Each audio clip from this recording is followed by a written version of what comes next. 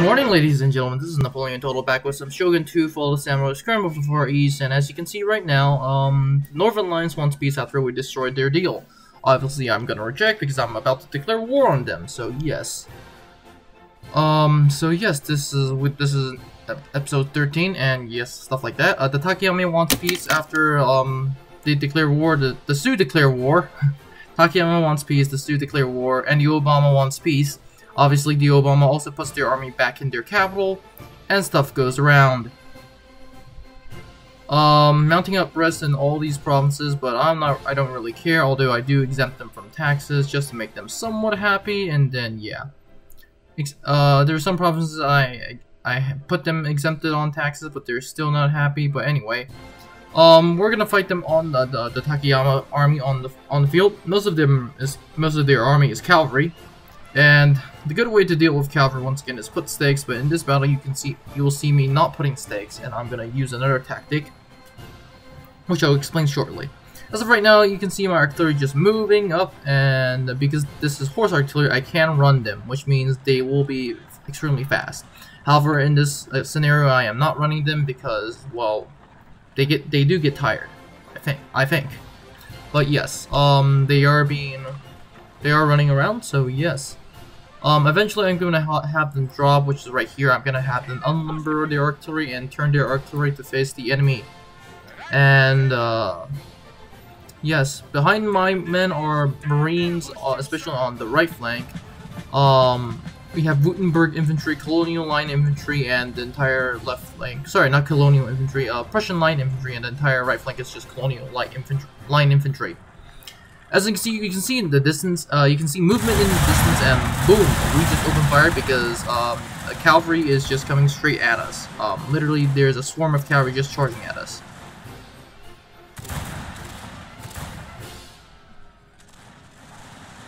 And that was canister shot. That shot was fired at point blank and we just decimated the general. Um, and however, that does not save this unit on the right from being charged. However, I do a tactic called uh, form square. And square is basically, I've, I obviously formed it slightly a little bit too late. But uh, square has been formed is better than not being formed. And basically what square does is pick puts the unit in, in the square.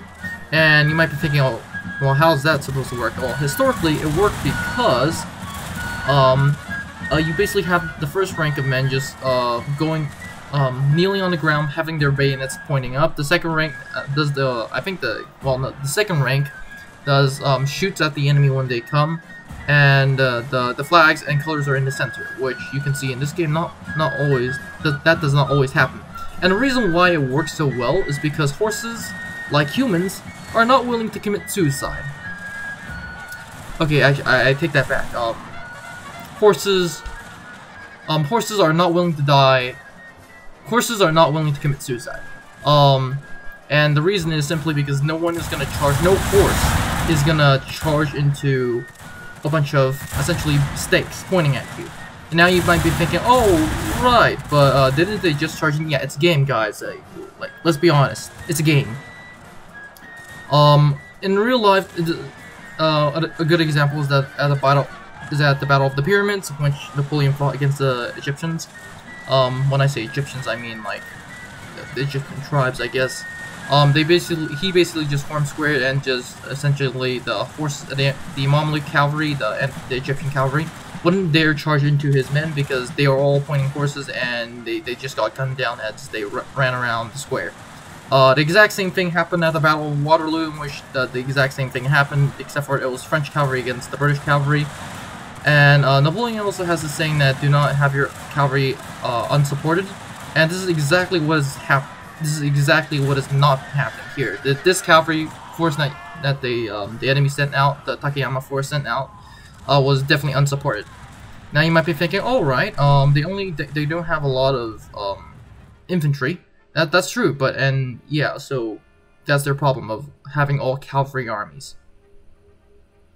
Um, as you can see here, I'm trying to move my artillery for artillery forward, and yes, this is a six-pounder artillery uh, uh, artillery, and this this is basically a very fast artillery that you can get around the battlefield really quickly. Um, I'm following. I'm kind of following the Napoleonic style of battle. Uh, sorry, the Napoleon style of battle, which is basically like um, the fast for artillery at least. Um, fast artillery is better than slow heavy artillery.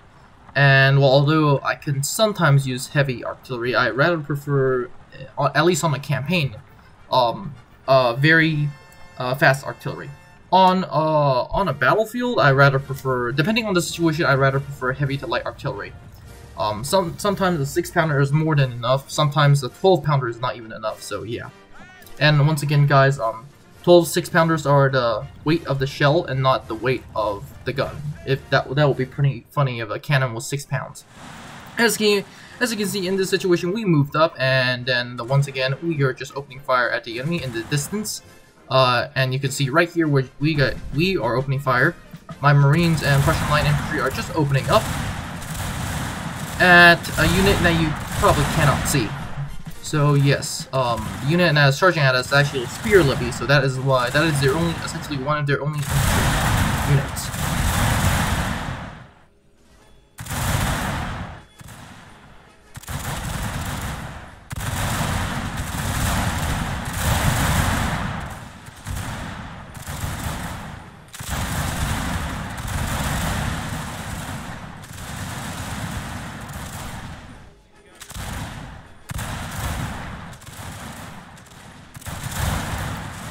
Um, the unit on the right, which is the Württemberg infantry, is not opening fire because line of sight is a problem, so yeah. Um, and finally, I have these two units, the Prussian Line Infantry and the Marines, hold fire, and the reason why is because I do not want to get friendly fire on my artillery. Artillery. Um, for those that are interested how to kill these guys, the artillery fast, you just, all you have to do is shoot, shoot at the horses that are driving the artillery, uh, bear, artillery crew and uh, the entire artillery piece will go will die. Essentially, that is kind of funny, but it's it's it's how it is. And obviously, like with all artillery at this close of a range, um, the shot I load is going to be canistered. And this is going to be pretty funny because the enemy charging at us is basically um,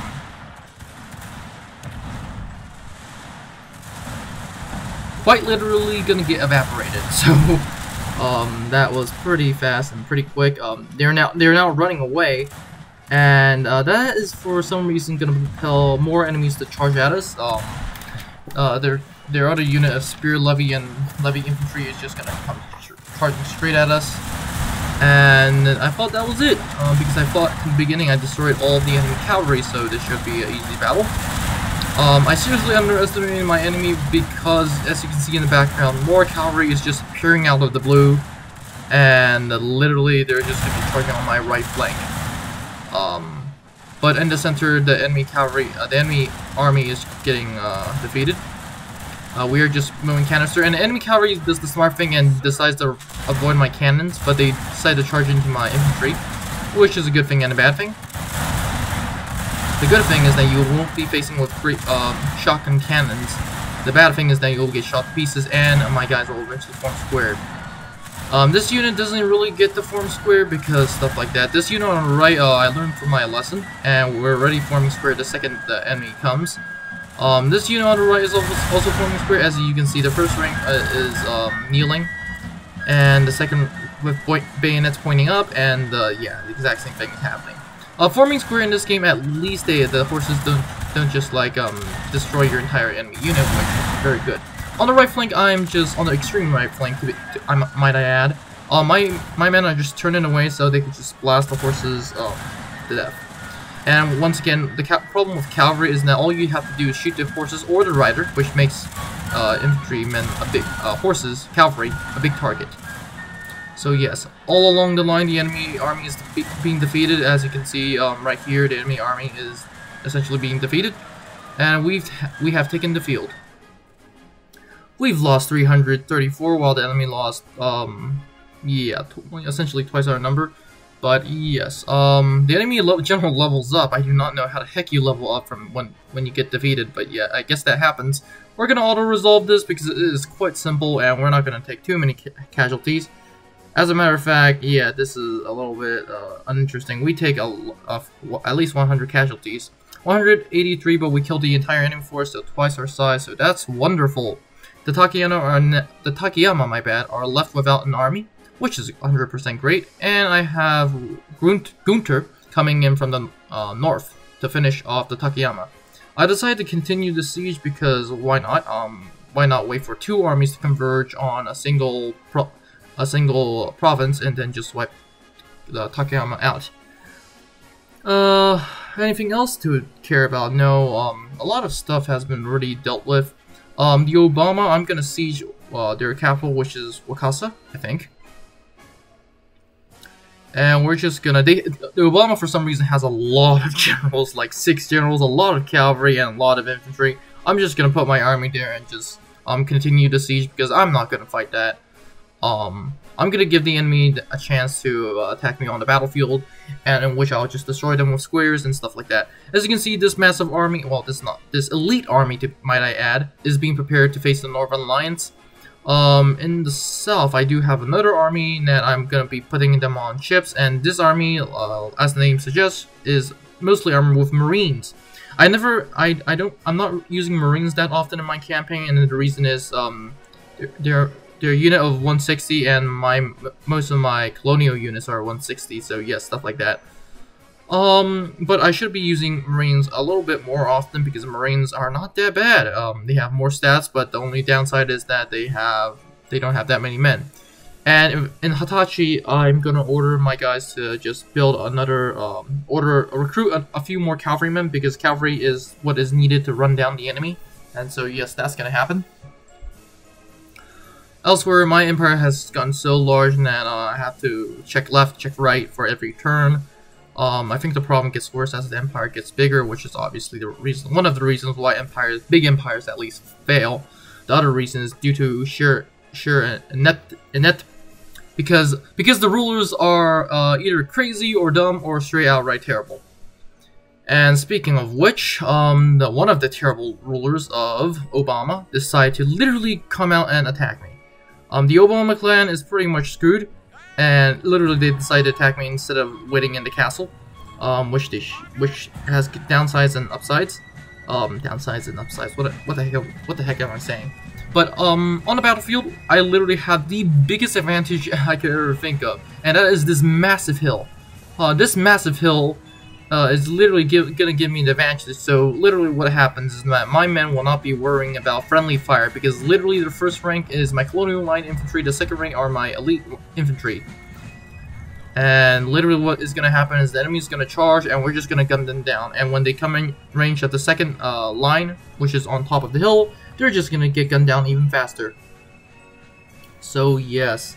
And to make it worse for the enemy, I'm gonna do a tactic called, which you guys have seen. It's literally called plant stakes, and I think you can see uh, very soon that I'm starting. Uh, I'm going to plant stakes, but the enemy at this point, enemy mortars are just gonna be shelling us.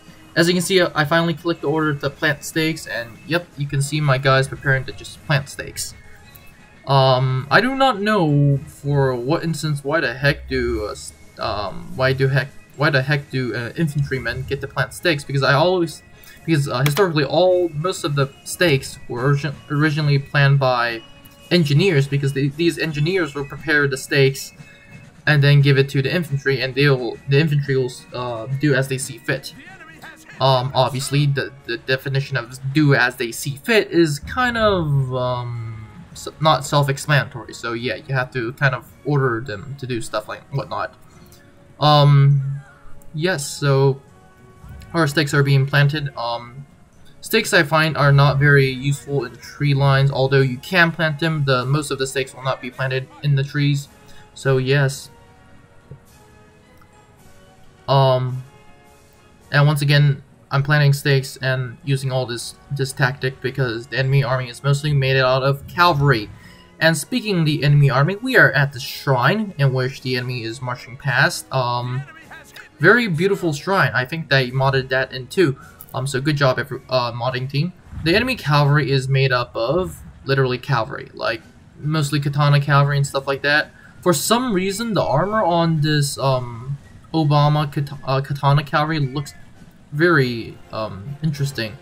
Um, especially when it's rain. Like, uh, I don't know for what reason, but like during the rain, uh, armors, the armor and then the whatnot. Um, the armor, the uniforms just look wonderful.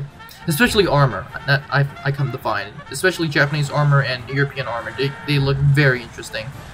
As, but, however, looking interesting does not mean that you'll be saved from bullets, and literally the exact is just gonna happen. They're, these guys are just gonna get gunned down. On the my extreme right flank, sorry, my left flank, uh, my guys are just farming in the square, and then we're just blasting the cavalry that charges at us, which uh, most of them get, bla get blasted before they even come into range. To make it worse, my on the second tier, I have my lifeguards just opening fire, so that's interesting. Um, you're gonna charge the back of my square, but because we are in the square, it doesn't really matter. So yes, and once again, um, I, I find it very interesting that the colors and standards of a regiment are not are on the side instead of the middle. Now they're in the middle, so that's that's wonderful. But as you can see, the enemy general decides to charge in. Okay, one of the enemy generals decides to charge in, and he gets absolutely wrecked. Not because he charged and my men opened fire, it's because he charged into stakes. And because the general unit is so small, it doesn't really matter.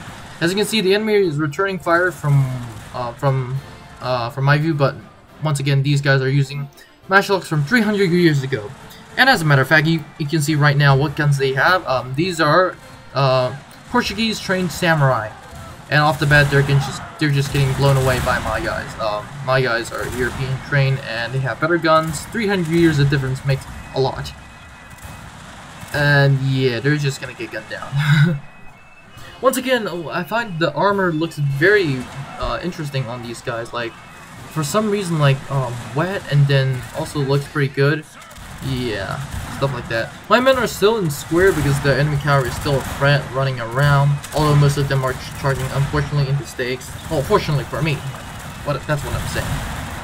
Um, the enemy uh, Yari infantry is still look, looking pretty dang neat, but not as neat as the samurai um, mounted with tep, um, Tepu samurai. So Tepu samurai is basically Portuguese trained samurai, and these guys have routed before the sec uh, before they've even engaged in combat, which is uh, yeah, interesting, really interesting. The samurai now are running away decide to not run away because behind them we have uh, we, uh, the, the, Obama have levy infantry and they're just gonna return fire on my guys. But once again, my guys are just gonna devastate these guys. Um, and not to mention these guys because they're using guns from 300 years 300 years ago. It's gonna be quite hard for them to reload after they shoot. My guys have a way easier time, and yes, So yes, we route them too. And at this point, the, the, the it's pretty clear that who is going to win the battle. I have uh, hundreds of more left. As you can see on the right flank, there are still some guys holding out, uh, as with this unit, but they decide to, yep, um, let's get the heck out of there, and they decide to run away. Uh, honestly, that's a nice choice. If I were them, I'll just run away, but then it also sells them to their fate of being destroyed. It was a, a, decisive victory. The enemy lost more than half of their force, and we just lost a mere three, uh, three to four hundred. It's uh, really a joke. We're gonna auto-resolve the Battle of Wakasama, um, and uh, yeah, because the enemy only has 81, we're just gonna auto-resolve, and we take literally no casualties, I think. Yes, we take no casualties. Um, we're gonna peacefully occupy, and off the bat, you can see there's a British army on the right on our border. They were probably they were they were at, the British were at war with the Obama, and now they're not at war because we we just destroyed them. Um, I'm gonna scout in Tango to see what British armies they have, and hold did I find a lot. Um, this British army is completely massive. This um yeah, impressive and really impressive mostly with Gurkha riflemen, Jesus, uh, Sepoy infantry, and uh, gran uh, grenadiers, uh, and Highland foot. Um, so that's pretty interesting. So yes, uh, cadet school and police station is being built in Omi and uh, Kakuza, and now we're just gonna defeat destroy the Takayama. And we're gonna assault the siege, uh, assault the city. As you can see, I have two armies on the field. One is coming from the north, and one is coming from the south. This is the southern, uh, uh this is the southern army that is led by um, Rolf, I think. Yeah, this is led by Rolf. And as you can see, I gave him, I uh, for this army, I gave him mostly Marines, uh, Colonial Line Infantry, Impression Line Infantry, uh, good stuff. Uh, well, obviously they're not as elite as the the army that um, is being led by Gunter. Um, so yes, all of them are Imperial kin. So well, um, yeah, stuff. Um, as you can see, uh, this is only half of my um, uh, half of Gunter's army, and Gunter's army is just basically mortars and then uh, infantry, um, and infantry. So yes, um, a lot of colonial light infantry off the bat because they're easy to uh, maintain and and then they're uh, they're very fast to produce. But um, the enemy fortress, uh, you guys seen it. Is it's literally um, the fortress that we've been fighting against. Um, it's not that common, but hey, it's pretty common. Uh, I've done it. We've we fought two battles on the exact same fortress. And uh, yes, an outer, an in, uh, in, uh, the inner walls, which there are two, the like the first and second layers of the inner wall, are pretty dang, uh, dang great. Uh, the outer wall is just fence, and that's it. Um, can you consider this a fortress? I can consider I can consider it a fortress, but not as big as other fortresses that we've taken over. So yes, especially the ones that the Americans made, which I have to give it to them. They know how to make some good fortresses. Um, not even a joke. And off the bat, my uh, my mortars are just pounding the towers, and then yeah. Um, the other half of Gunter's, army is literally this. And these guys are literally lifeguards. I, I, do I need to tell you that much? Yeah, I think you guys pretty much know what lifeguards look like by now, for those that have been watching. And lifeguards off the bat, uh, I have a lot of units of these, at least six. And I'm just gonna send these guys to literally just shoot at the the enemy who, who are on the walls. And yep, these guys are moving forward a as quick as possible. Um, if you if you guys watch um, Lorien Generals, Gods and sorry, Gods and Generals. Uh, there's a scene from the Battle of Fredericksburg in which, um, when crossing a river, the the uh, a Union uh, a Union commander uh, said the hardest thing for any army is to get into position after crossing a river, and that is pretty much pretty um, close to this situation. Um, certain people I have real respect for. Um, one of them was the Duke of Wellington at the Battle of Argelès against uh, during the Second Maratha War against the uh, various against the Marathas, I, I guess you can call them that. And in which he just crossed the river and was literally being shot by cannonballs, but his men surprisingly held on. In a similar sense, we are being shot by cannonballs, but because our men are lifeguards, they will not break. um, once again, lifeguards are the bravest, the best, and stuff like that. I really realized that in this episode, I didn't, uh, in this series, I haven't really talked about grenadiers.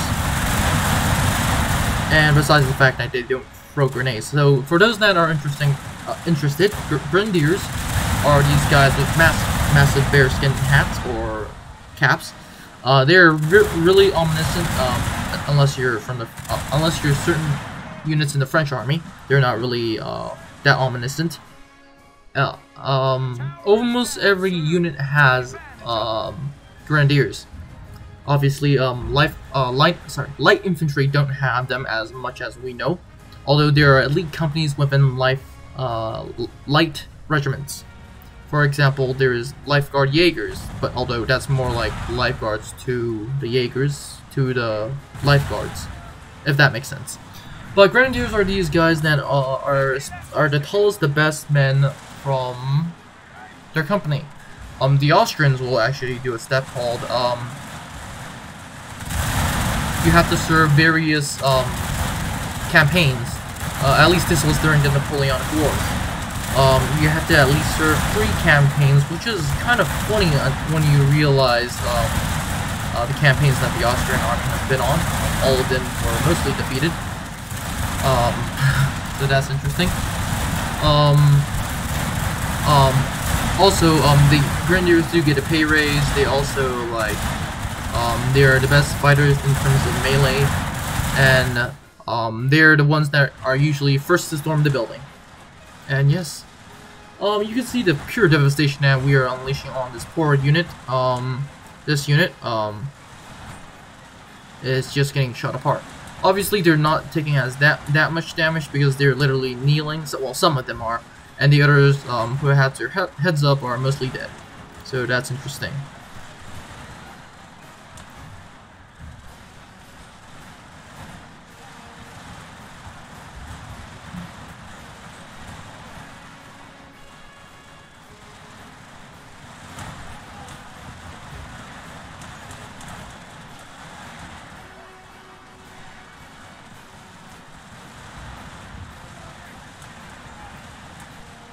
I don't know if these walls, if you shoot through these walls, the there are sometimes, as you can see, there are little gaps through the walls, and you can shoot through the walls, so that makes this our my situation better.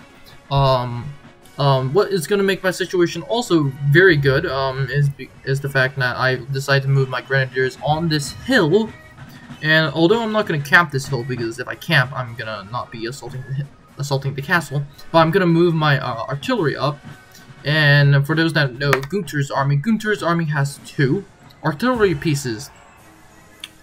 One is the captured American piece, and the one is the piece that we started the campaign off with, which is this piece that you're seeing right here. Um, and now you might, you guys might be wondering, wait, where's the second piece then? Well, um, the second piece has been stuck in the woods, like literally stuck in the woods. So we're gonna have a problem while doing that. Um, yes. Um, as you can see, um, how to unlimber our artillery piece.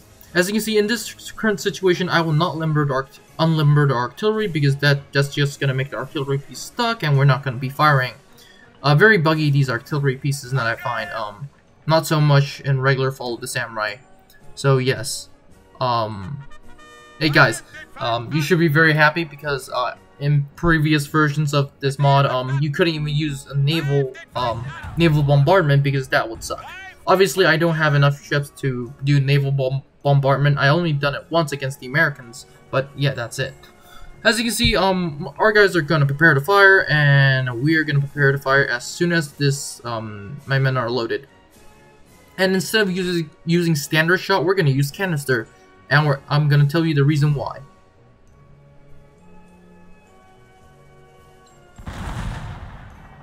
Now, canister for some reason does fire damage, and you heard me correct, as you can see. Canister on these uh, wooden walls, I guess, does a lot of uh, fire damage.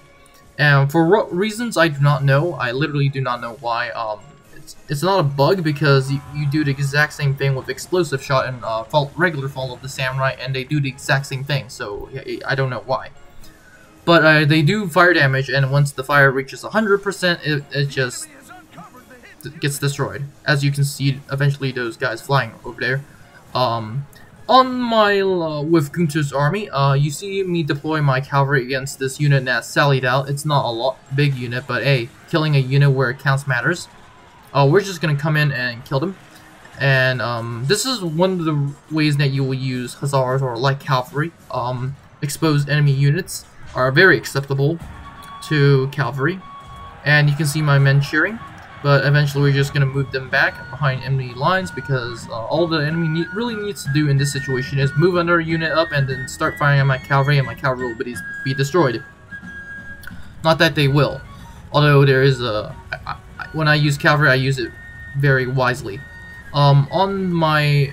The rest of Gunter's, Gunther's army is just going to be moving up and we're actually going to scale the walls. So yes, um, we're scaling. Um, I'm sorry guys, this video is going to be slightly longer, um, so um, grab a snack. On the left, on the left of Gun Gunther's attack, we're going to call this section Gunter's attack. Um, we're just destroying essentially the wall again. Um, and we're just climbing the walls, and we're destroying the gates. So now, um, the enemy has some defense, but that defense is not even facing us, facing us at this point. So we're just gonna walk straight in.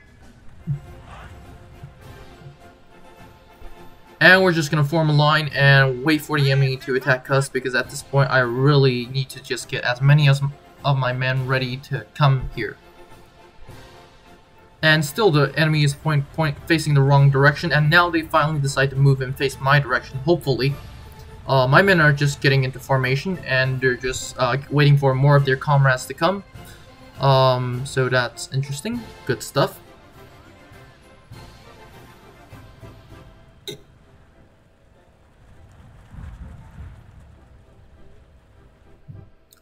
Um, while on the other side, um, Rolf's attack is basically just going as as expected. I canister shot the uh, um the gate, and the gate just burned. Now I'm sending in my lifeguards, and obviously, um, the first thing that you can tell is that there's someone shooting at these lifeguards, and yes, there it's on the tower on the on the far right of the screen, um, uh, top right of the screen to be exact. Well, now now you don't see it. Uh, but um, there was a unit of levy infantry just shooting at my guys. Um, their shots are mostly missing, but they do get some kills because my men are so clumped up. Um, I ordered a, a charge straight into these um, spear levy and a town levy to be exact, and because my guys are doing so are the best units in the army, they're gonna do extremely well against this poor levy unit. Which once again, um, I call these guys uh, dudes who've been given spears at the last moment to defend their castle and they're not to stand a chance against my guys. So, watch the, uh, watch the battle.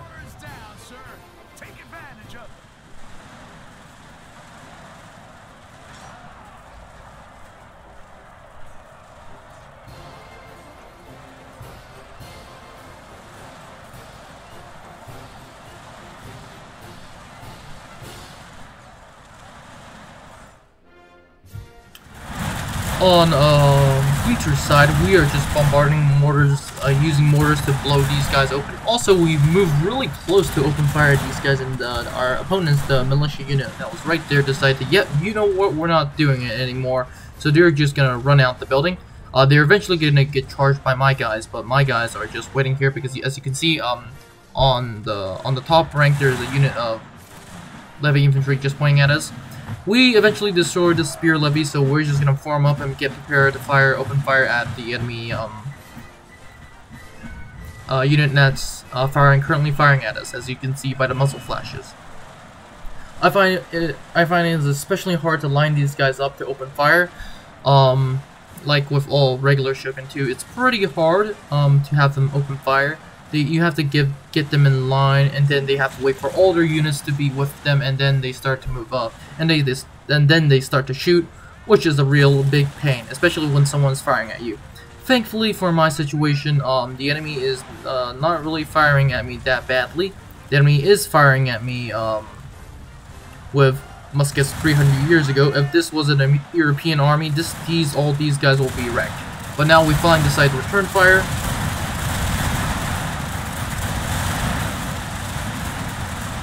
And the results are kind of devastating. Oh, when I mean kinda, I mean very devastating for these guys.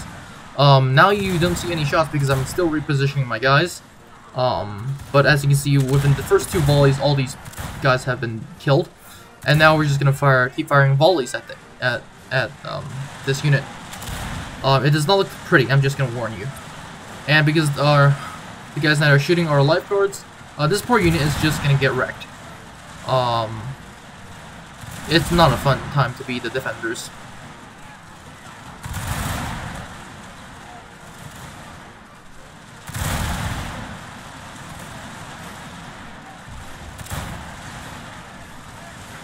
I like how uh, I like how surprisingly that all these um, levy infantry have katanas in their belts, so that's pretty interesting.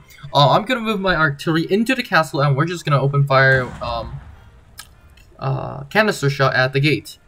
And you, you, you guys could obviously see the problem, and I saw the problem when I was uh, fighting this battle, that my men were literally in front of the cannons. So I decided to move them the heck out of there. Effectively, my fires, my cannons fire a little bit up, or else that would have been a uh, disaster, me killing a lot of my own troops. And uh, yeah, that's that. Um, we're gonna reload and we're gonna open fire and stuff like that.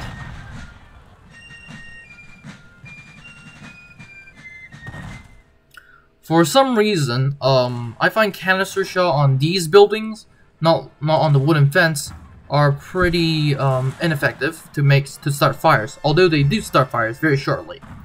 Um, as you can see, the enemy unit sallies out another levy unit, and that's just gonna weaken their defense. Um, it's not like I have a million units just standing out here preparing to gun them down. Definitely not. Uh, Oh wait, what is that? Oh, it's lifeguards. Oh no, they're just gonna get shot to pieces as they as they run away. Um, so yes. I'm pretty surprised actually how how little damage that my guys are doing, especially at this range. Like, um, it is point blank range and these guys are still running away like nothing's really happening. Or at least half their unit ran away successfully. Finally, my guys are just gonna enter the the fortress, and essentially after that, it's just killing the mortar crews, which haven't routed yet, and that's it. So um, this was essentially the Battle of Obama. Am I right? Yes, this is the Siege of Obama that is being held by the Obama clan. So yes, we've taken it with minimal losses, 219 killed, and for the entire garrison of Obama.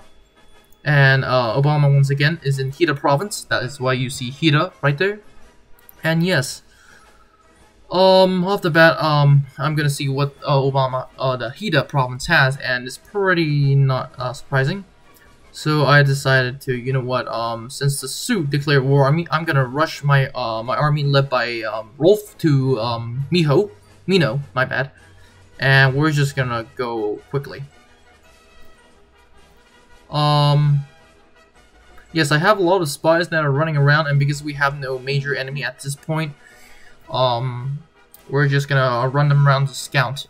Unless there is a major enemy, then we have a big problem.